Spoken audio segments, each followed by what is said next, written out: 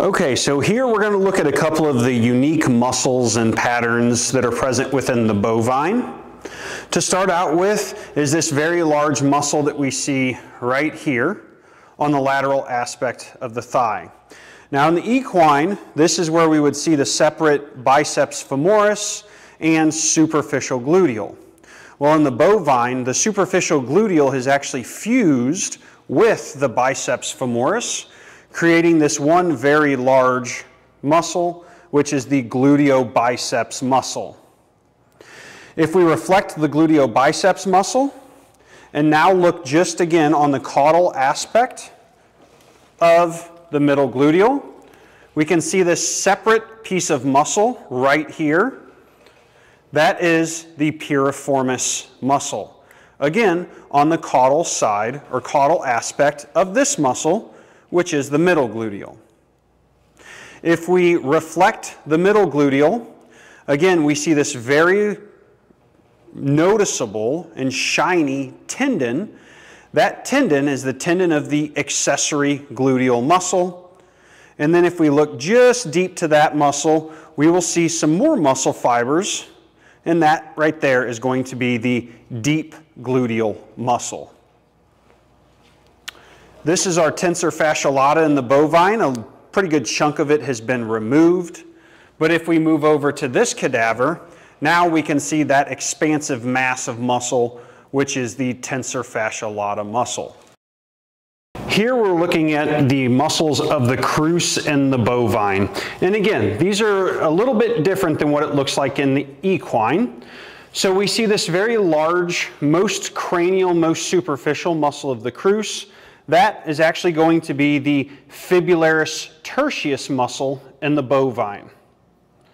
Just deep to that, and most often fused on the deep side, is this separate chunk of muscle that is actually easiest to tell the difference by the separated tendons down here distally.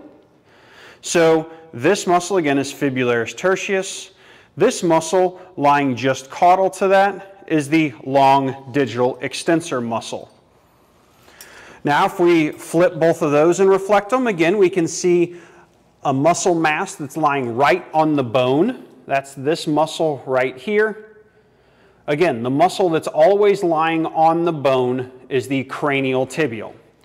So to review, in equine, the long digital extensor is the most superficial.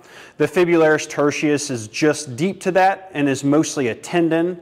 And then the muscle lying on the bone is the cranial tibial. In bovine, that's flipped to where the fibularis tertius is the most superficial muscle. The long digital extensor is deep to and most often fused with the fibularis tertius. And finally, the cranial tibial is again lying on the bone. Down here we see another muscle, a very small muscle that's really pretty much down here just on the metatarsus. That's going to be the short digital extensor and it's going to be in the same region in the equine. As we move caudally around the crus, we see this kind of triangular shaped muscle in the bovine. This muscle is not in the equine. This is the fibularis longus muscle. The next muscle caudally is going to be the lateral digital extensor muscle. And finally, we get to the lateral digital flexor muscle, this very large muscle on the caudal aspect of the tibia. This muscle that has been kind of cut but is still intact here is the soleus muscle of the bovine, just ventral to the lateral head of the gastrocnemius.